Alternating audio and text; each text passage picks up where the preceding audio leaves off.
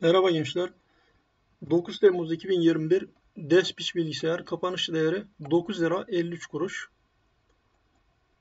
Hissenin temel ve teknik değerlendirmesini yapmaya çalışalım.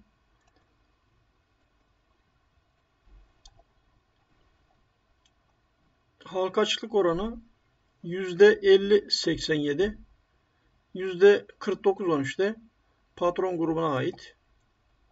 Fiyat kazanç oranı 12.94. Piyasa değeri, defter değeri 2.12. Cari oranı 1.83 ile 2 civarına yakın. Yani fena sayılmaz bir e, finansal durum var. Yabancı para pozisyonu 96 milyon lira artıda. Fiyat kazanç oranına baktığımızda daha önce 18'ler yaklaşık olarak 18 e, FK'ya kadar fiyatlanmış. Şimdi güncel durumda ise bu değer 12.94. Piyasa değeri, defter değeri ise 2.12 güncel haliyle bu değer daha önce 3.48'ler görülmüş. 3.48 ve şimdiki güncel durumu 2.12. Piyasa değeri defter değerine tarihi görünümünde baktığımızda aynı nasıl hisselerin tekniğinde yeni bir kanal oluşturma mantığı varsa piyasa değeri defter değerinde de benzer şekilde yorum yapılabilir. Bakın burada bakarsak şu bölgede yani 2.20'lerde oluşan 3 tane tepe var. 1 2016 yılında oluşan tepe direnç olarak çalışmış bunlar. 2016, 2020'de ve daha sonra yine 2020 Temmuz ayında çalışan 3 defa çalışan bir direnç tepesi var. Sonra bu tarihi yatay bant direnci kırılıp hissede yeni bir kanal oluşmuş. Şimdi hisse tarihi değerlerini yani 15'li fiyatları gördükten sonra tekrar bu piyasa değeri, defter değeri e, destek bölgesine yani 2.20'ler civarına gelmiş görünüyor. Yani temel veriler olumlu yönde gitmeye devam, devam ederse tekrar bu destek bölgesinden toparlanıp üst banda doğru yani 3.40'lara 3.50'lere doğru hareket etmesi beklenir. Piyasa değerine baktığımızda da zirve piyasa değeri 338 milyon piyasa değeri görülmüş. Şimdi ise 219 milyon piyasa değerinde. Yani zirve temel verilere göre hisse şimdilik iskontolu görünüyor. Bilançoya bakacak olursak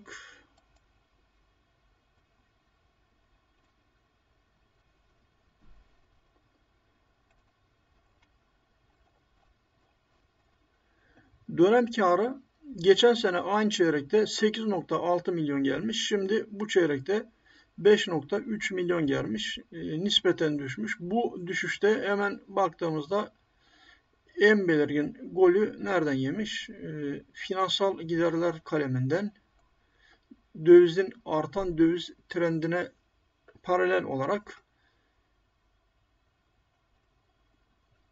çünkü şirket faaliyet alanı itibariyle e, maliyet girdileri daha çok dövize bağlı olduğu için artan e, döviz kuru hissenin maliyetini artırdığı için e, finansal giderlerde belirgin artış olmuş durumda. Dolayısıyla faaliyet karında mesela 10 milyon faaliyet karı finansal giderler ile 4.7 milyon finansal gider, gider ile 700 e, küsur milyon gelir var. E, bunu çıkardığımızda kabaca 4 milyon finansal giderler kaleminden eksi yazılmış ve e, 10 milyon faaliyet karı 6 milyonlara düşmüş. Vergiler de düşüldükten sonra geriye 5.3 milyon dönem karı kalmış. Güzel tarafı satışlar 112 milyondan 130 milyona çıkmış. Yani satışlarda artan %16 ciro artışı devam etmiş. Bu önemli. Çünkü ciroda artışın devam etmesi bizim asıl istediğimiz e, kalem. Örneğin şimdi bu bilançoda en büyük golü finansal giderlerden yemiş.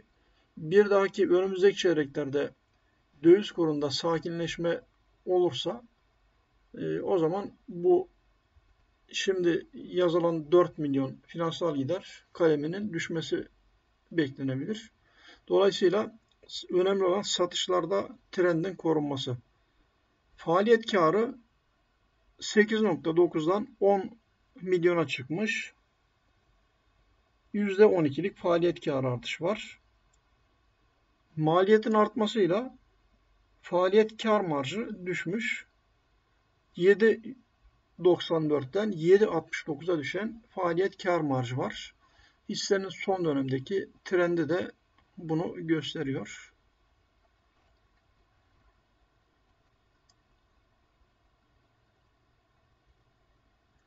Aşağı doğru devam edersek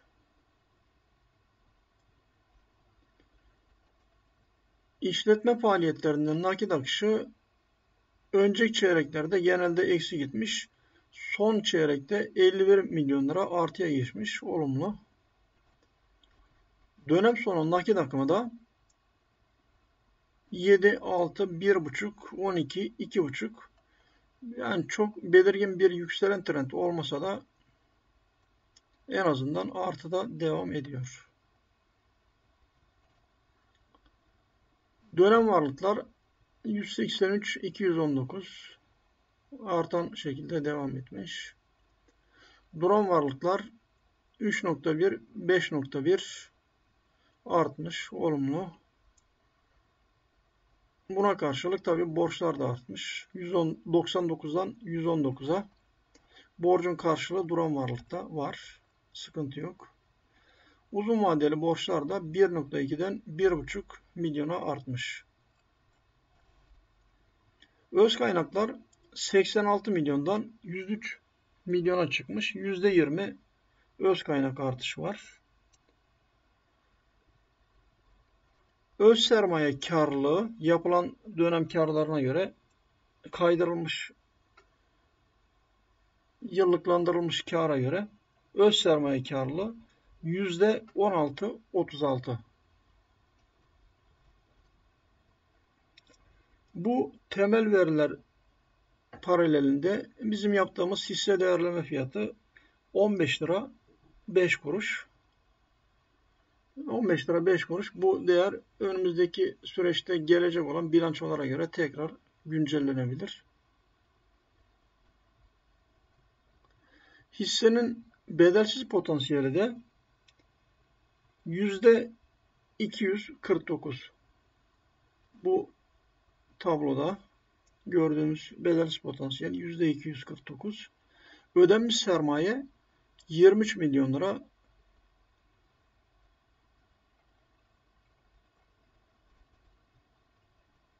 Geçmiş yıl karlarına baktığımızda 2020 yılında 41 milyon lira devam eden geçmiş yıl karı 2020 yılındaki dönem karında kasaya eklenmesiyle 61 milyona çıkmış.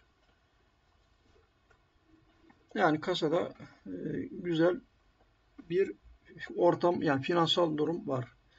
Bu şirketin temettü ödeme gücünü gösterir. Aynı zamanda eğer yönetim kurulu tabii karar alırsa bedel potansiyeli de şu bölümdeki artı değerler için önemli.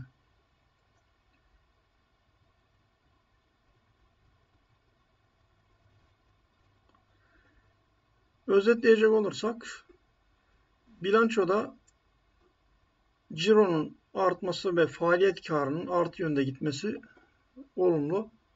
Tek olumsuz kısım finansal giderler kalemi. Finansal giderler kalemindeki eksi düştüğü müddetçe diğer verilerde olumlu görünüm var. Sıkıntı yok yani.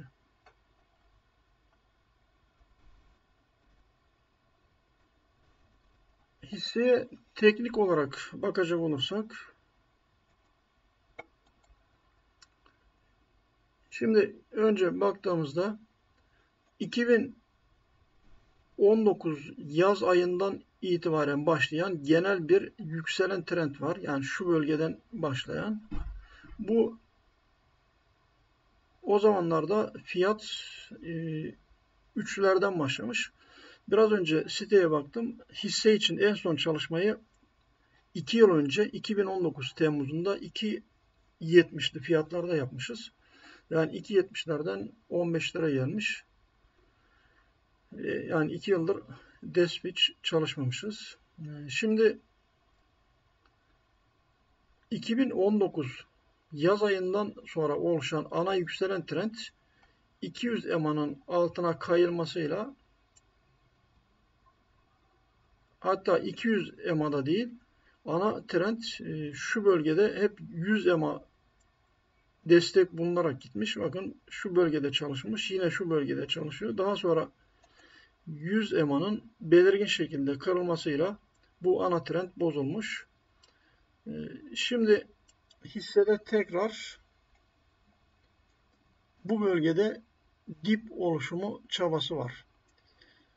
Bunu iki şekilde görebiliriz. Yani nasıl işte yükselen e, dip oluşumu çabasını periyodu büyüterek görebiliriz. Tespitlerden birincisi bu. Yani günlük grafikte diyelim e, indikatörümüz şu bölgede her işte 100 EMA bölgesinde oluşan girçiklarda al vermiş. Sonra hareket yapmış. Tekrar sat tekrar aldı. Şu an son durum itibariyle. Bu aradaki kısa periyotlardaki girçikları telafi etmenin yolu periyodu büyüterek bakmaktır. Haftalı aldığımızda bakın şimdi haftalı alınca e, genelde 20'nin altına geldiğinde indikatörümüz bakın 1, 2 hep bu bölgelerde tepki gelmiş. Dolayısıyla şu an son durum itibariyle de indikatörümüz 20 bölgesinin altında yani aşırı satım bölgesinde görünüyor. Bu 20 bölgesinin altında olmasına rağmen hissede öncü göstergemiz mavi indikatörümüz. Bakın mavi indikatörümüzde düşen trendini yani şöyle kabaca gösterecek olursak hisse düşen trendini kırmış mavi indikatörde toparlanma belirtisi sinyali var. Dolayısıyla mavi indikatörde olumlu hareket başladıysa kırmızının da zamanla dönmesi gerekir diye yorumluyoruz. Bunu önümüzdeki günlerde hep beraber göreceğiz. Tabii e, beklentimiz gerçekleşecek mi? Özetle haftalık periyotta baktığımızda hissenin aşırı satım bölgesinde olduğunu daha önce indikatörün dönüş tepkisi verdiği seviyede olduğunu görüyoruz.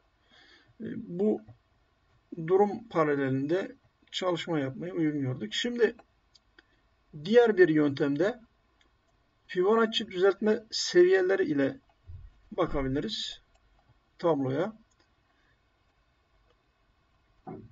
Hızlı hareketin başladığı taban bölgeye koyduğumuzda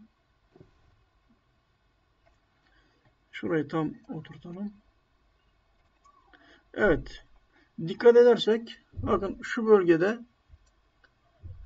hisse Fibonacci 50 düzeltme seviyesini iki kez test etmiş. 1, 2 ve o bölgeden yani 8.97 baktığımızda tam e, düşük 8.97 diyor.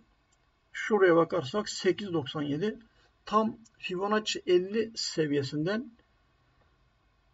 tepki gelmiş ve şimdi güncel değerle fiyat 9.53. Özetleyecek olursak bu bölge destek çalıştığı sürece 8.97 stop loss değeri de olabilir burası aynı zamanda. 8.97 stop loss değeri üzerinde kaldığı sürece orta vadeli olumlu beklenti devam edebilir. 8.97 kırılırsa 61.8 dediğimiz 7.40 desteği gündeme gelir. 8.97 altında 7.40 desteği yani Fibonacci 61.8 desteği önemli. Olumlu hareketlerde de evet, zamansal kaymamızı yaptıralım. Olumlu hareketlerde periyodu tekrar günlüğe alalım. Şimdi çizgiler karışmaması için Fibonacci trendimizi siliyorum. Şimdi olumlu hareketlerde burada makas bandı çalışması çalışması yapalım yine. Bakın şu kısımdan gelecek olursak bir makas. Bu makas şurada kırılmış. E, takas desteği ile de bak takasa dikkat edin. Sarı takas da ciddi giriş olmuş. Yabancı takasa desteği. Bu yabancı takasının da de, hacim de vardır mutlaka. Ben orta e, grafik ekranı geniş olsun diye hacmi kapatmıştım. Şimdi e, burada bir makas daha geri gidecek olursak bakın bir makas, iki makas, iki makas burada kırılınca tekrar bir makas daha gelmiş. Dört makas. Son durum itibariyle güncel makas değerimiz şurası. 1, 2, 3, 4, 5 kere çalışmış. Hemen ölçelim. Ortalama tepelerden birisini alalım. Zamansal kaymayı biraz daha yapalım. Evet. 200 EMA paralelinde yani 200 EMA'nın kısmen toparlanacağını farz ederek 15 yaklaşık 15-32 orta ve uzun vadede makas direnç seviyemiz. Zirve kaç görmüş? Ona bakalım. 15-60 yani evet. Yaklaşık önceki tepe civarında makas direnç seviyemiz orta uzun vadede izlenebilir. Bu değerin şimdi biraz önce yaptığımız temel çalışmada bulduğumuz hisse değerleme fiyatı 15.05 demiştik. Dikkat edersek bulduğumuz temel değerlere göre çıkan hisse değerleme fiyatımız 15.05 ile makas direnç seviyemizde birbiriyle uyumlu. Son olarak takasa da bakalım. Ha, kısa vadede dirençleri söylemeyi unuttuk. Ee, kısa vadeli direnç seviyeleri 10 13 ve 10 68 kısa vadeli direnç seviyeleri 10 13 10 68 bu seviyelerin geçilmesi durumunda 15 32 makas direnç seviyemiz izlenecek olan teknik değer. Yabancı takasına baktığımızda son evet e, günlerde yani 21 Haziran'dan bu tarafa toparlanma olduğu görülüyor. 21 Haziran'daki gördüğü düşük değer 842 bin lot yabancı takası 21 Haziran'dan bu tarafa yaklaşık e, 17-18 gün geçmiş. Baktığımızda güncel olarak yani 9 Temmuz'da da 842 binden 911 bin lota çıkan yabancı takası var. Yani şu dip bölgede kısmen yabancı girişi olmaya başlamış. Tablo halinde bakacak olursak da günlük takasta 45'e 51 alıcılar güçlü ve birinci alıcı Citibank yabancı e, grafikte görüldüğü gibi burada tabloda da yansıdı. Haftalık takasa bakalım. 47'ye 56 yine alıcılar güçlü. Haftalık takasta Citibank yabancı 7000 notta. E, günlükte 50 bin, 50 bin miydi? Günlükte 27 bin. Yani son günlerde 27 bin üstüne 20 bin not daha eklemiş. Aylık bakalım.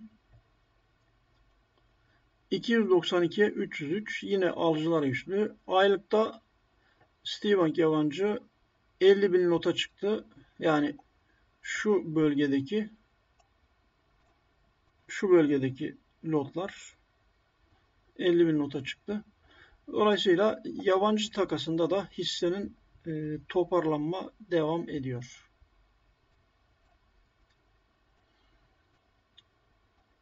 Evet e, gençler Despek bilgisayar için bu kadar şimdilik. Her şey gönlünüzce olsun. İyi pazarlar.